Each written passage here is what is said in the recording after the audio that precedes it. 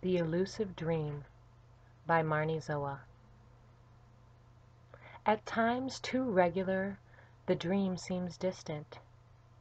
She is a bird in the woods, and we can hear her song, Catch glimpses of her as we duck Underneath and through too many obstacles, All to get a better sense of her. There are painful moments when she is right there.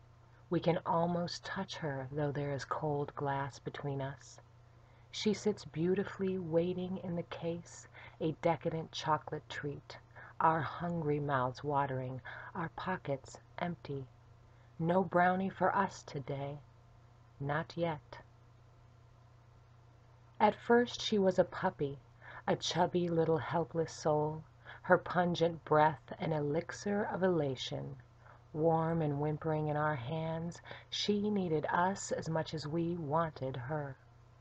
Knowing how much work she would be meant nothing. We must have that puppy.